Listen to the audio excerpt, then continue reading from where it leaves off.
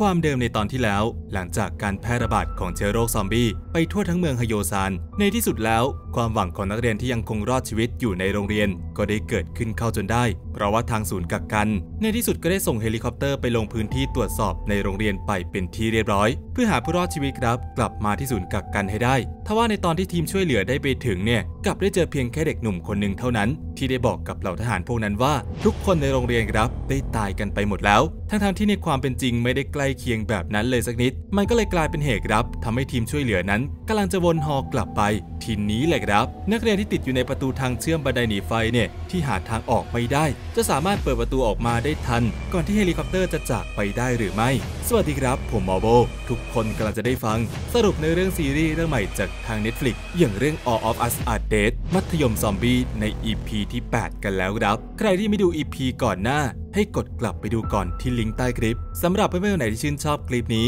ฝากกดไลค์ให้แอดมินคนละหนึ่งไลค์เป็นกำลังใจให้หน่อยนะครับ และถ้าทุกคนพร้อมกันแล้ว ไปฟังกันเลยครับ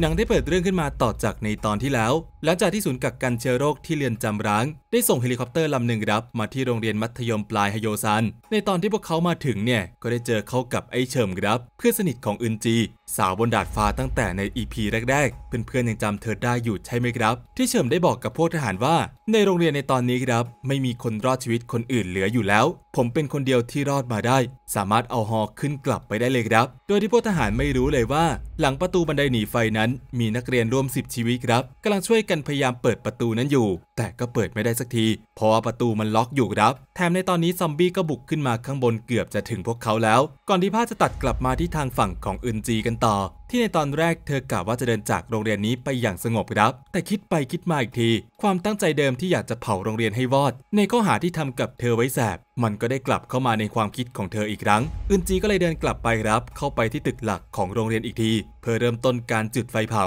แล้วค่อยเดินออกมาอย่างสบายใจโดยที่เธอไม่รู้เลยว่ามีความวุ่นวายที่เกิดขึ้นบนดาดฟ้าของตึกในตอนนี้ ชองซานกับซัวยอกครับสองกำลังหลักของกลุ่มนักเรียน พยายามจะใช้แรงทั้งหมดที่พวกเขามีครับ ในการสู้กลับพวกซอมบี้ที่กรูขึ้นมาข้างบนกันไม่ขาดสาย แถมในตอนนี้ครับกวีนำก็มาแจมอีก เพื่อที่ว่าเขาครับต้องการมาจกตาของชองซานให้ได้ ก่อนจะฆ่าเขาทิ้งไปสองหนุ่มครับพยายามจะสู้กับกวีนำแบบสุดชีวิต แต่เขานั้นก็แข็งแกร่งเกินไป โดยในตอนที่สถานการณ์กำลังย่ำแย่แบบขั้นสุดนำราที่เห็นเหตุการณ์ทั้งหมดเนี่ย อยู่ๆครับ เธอก็เปลี่ยนร่างกลายเป็นเซียวบี้ ตาข้างหนึ่งของเธอครับ กลายเป็นสีแดงอีกครั้ง พร้อมกับพละกำลังมหาศาล เข้ามาช่วยต่อสู้กับกวีนำได้อย่างสูสีครับ ก่อนที่ว่าหลังจากนั้นไม่นาน ประตูดาดฟ้าที่ถูกล็อกไว้ก็ถูกเปิดออกมาอย่างฉุกเฉินครับ เพราะว่าสัญญาณไฟไหม้ที่แจ้งเตือนขึ้นมาในระบบ นักเรียนทุกคนก็เลยรีบออกไปที่ดาดฟ้า ก่อนจะปิดประตูอัดหน้าใส่กวีนำแล้วก็ฝูงซอมบี้ที่กำลังขึ้นมา ทุกคนก็เลยรอดตายอย่างหวุดหวิดครับ ซึ่งก็เป็นจังหวะเดียวกันกับตอนที่เฮลิคอปเตอร์นั้น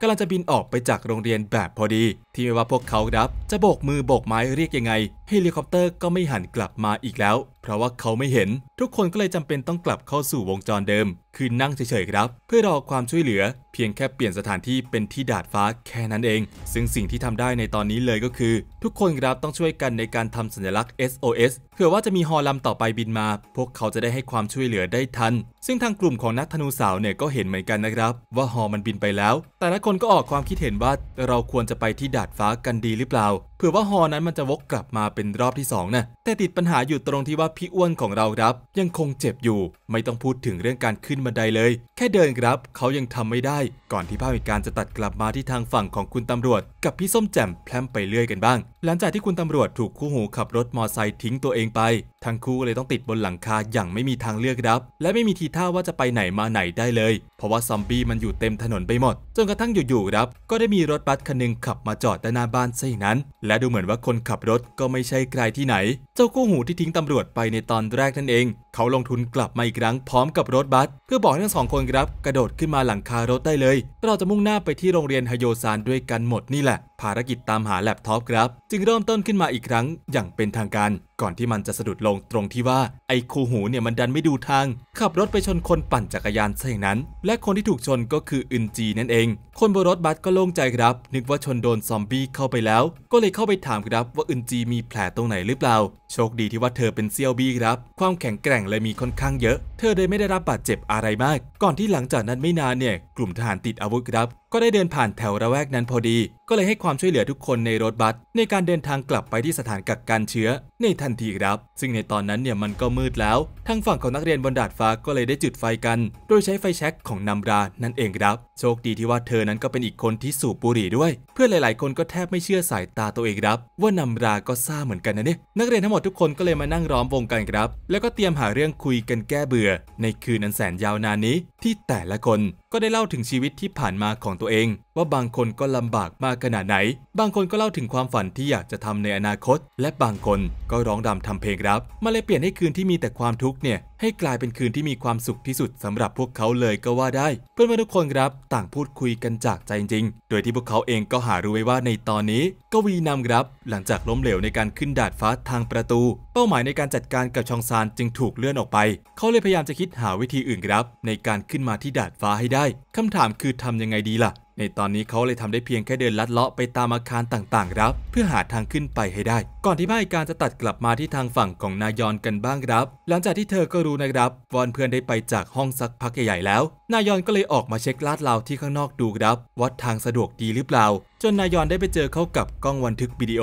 ที่เพื่อนแต่ละคนครับ ได้เคยกดบันทึกคลิปตัวเองเก็บไว้ นายอนก็ไม่รอช้าสิครับ หยิบมันขึ้นมาแล้วกลับไปที่ห้อง ก่อนที่ฝูงซอมบี้นั้นจะกรูเข้ามาถึงตัวเธอ แล้วนายอนก็ไล่ดูคลิปตั้งแต่คลิปแรก ที่แต่ละคนนั้นก็พูดถึงเรื่องราวต่างๆ แน่นอนครับชองซานั้นพูดถึงเรื่องของกยองซูด้วย ที่ในคลิปนั้นไม่ได้มีใครด่าหรือว่าโทษนายอนเลยสักคน ว่าที่กยองซูตายแบบนั้นก็เป็นเพราะว่าเธอ ซึ่งก็น่าจะเป็นเพราะว่าหลายๆ คนครับ เข้าใจหัวอกของเธอมากขึ้นแล้ว มาเลยตอกย้ำนายอนมากขึ้นไปอีก ถึงความรู้สึกผิดต่างๆ ครับที่ถาโถมเข้ามาในจิตใจ ภาพในวันนั้นกับครูพักก็ได้วกกลับมาให้เราได้เห็นกันอีกครั้ง ว่าที่ครูพักได้หายตัวไปนั้น มันเป็นเพราะอะไรกันแน่ ท่านเพื่อนยังจำกันได้ในวันนั้นครับนายอนตัดสินใจออกมาจากห้องกระจายเสียงแบบกระทันหันฝูงซอมบี้นับร้อยครับได้ยินเสียงร้องไห้ของเธอ เลยพยายามจะเข้ามากิน ถ้าในคืนนั้นไม่ได้ครูพักเข้ามาช่วยเธอไว้ นายอนอาจจะไม่รอดมาจนถึงตอนนี้ แต่ก็แลกกับการที่ว่าครูพักนั้น ก็ต้องเป็นคนที่ต้องโดนกัดไปซึ่งหลังจากนั้นครูพักก็พานายอนมาส่งที่ห้องนี้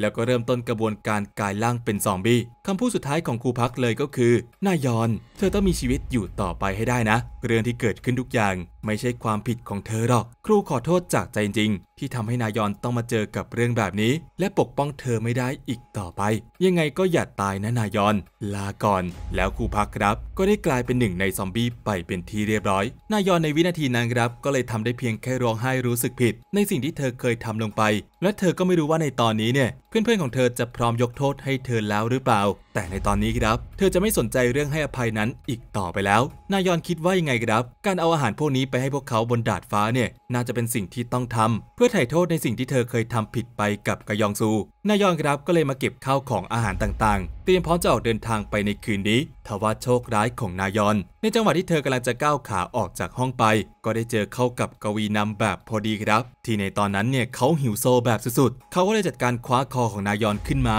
แล้วกัดเข้าไปที่คออย่างจังครับ ก่อนจะเริ่มต้นแผนการการขึ้นไปบนดาดฟ้า โดยการปีนผนังตึกขึ้นไป โดยที่พวกข้างบนนั้นยังไม่รู้ตัวเลยว่า ความซวยกำลังจะเดินทางไปหาพวกเขาแล้ว ที่ในตอนนี้ต่างคนต่างพากันพูดคุยโสเล กันอย่างสนุกสนาน ซึ่งในตอนนี้ก็เป็นตอนที่ชองซานครับตัดสินใจบอกเรื่องบางอย่างกับทุกคนในวงว่า เขาอยากจะบอกรับถึงความลับของตัวเอง ว่าแอบชอบคนคนหนึ่งอยู่ ที่ยังไม่เคยบอกกับใครได้ฟัง เพื่อนๆแต่ละคนก็ตื่นเต้นเลยสิครับ อยากจะรู้จริงๆครับว่าคนคนนั้นที่ชองซานแอบชอบนั้นคือใคร โดยเฉพาะอนโจเนี่ยเธอรีบถามกับชองซานก่อนเลยว่า เธอคนนั้นเป็นใครอะฉันรู้จักเธอหรือเปล่าชองซานก็เลยตอบว่าใช่ครับ พร้อมกับบอกตอบกลับไปว่า ฉันชอบเธอไงอนโจ ฉันชอบเธอมาตั้งแต่ 6 ขวบแล้วอันนี้พูดจากใจนะไม่ได้ล้อเล่น มันคือความในใจที่ฉันอยากจะบอกกับเธอมานานแล้ว แต่ไม่เคยกล้าสักทีอนโจที่ยินแบบนั้นก็ช็อกไปเลยสิครับ เพราะว่าการกระทำที่ผ่านมาของชองซานนั้น ไม่เคยแสดงให้เธอเห็นเลยครับ ว่าเขาชอบเธอจริงอนโจในตอนนี้ถึงกับทำตัวไม่ถูกเลยขอตัวไปสงบสติอารมณ์ที่มุมดาดฟ้าคนเดียวครับชองซานก็เลยตามไปขอโทษ แล้วก็บอกกับอนโจว่าเธอน่ะไม่จำเป็นต้องชอบฉันกลับก็ได้นะ ฉันขอโทษที่พูดแบบนั้นออกไป ซึ่งสิ่งที่อนโจเสียใจที่สุดในตอนนี้เลยก็คือ เธอคิดมาาตลอดครับว่าชองซานคือเพื่อนสนิทที่สุดของเธอ แล้วในตอนนี้เธอคิดว่าเธอกำลังจะเสียเขาไปอีกคนแล้วครับ หลังจากเสียอีซักแล้วก็กยองซูไป คนที่โดนเพื่อนสนิทบอกรักแบบนี้ ก็น่าจะเข้าใจความรู้สึกของอนโจเป็นอย่างดีครับ โดยเฉพาะแอดมิน เอ้ยไม่ใช่ อนโจในตอนนั้นครับร้องไห้ออกมาอย่างหนัก โดยที่เธอนั้นก็หารู้ไว้ว่า มันก็เป็นจังหวะเดียวกันครับ กับตอนที่กวีนำปีนกำแพงมาจนถึงดาดฟ้าไปเป็นที่เรียบร้อย เตรียมพร้อมครับจะเข้าจู่โจมทุกคนที่ขวางหน้า โดยเฉพาะไอชองซาน แกส่งลูกตาของแกมาให้ฉันซะดีๆ ที่บอกได้เลยครับ ว่าคนที่อยู่ใกล้กับกวีนำมากที่สุด ในตอนนี้ก็ไม่ใช่ใครที่ไหน อนโจเองนั่นแหละ ธอจะสามารถเอาชีวิตรอดมาจากกวีนำได้หรือเปล่าชองซานครับจะถูกมันจัดการในคืนนี้หรือไม่ และเพื่อนคนอื่นของเขาจะสามารถรอดคืนอันโหดร้ายนี้ไปได้หรือเปล่า เราจะต้องไปติดตามชมกันต่อครับ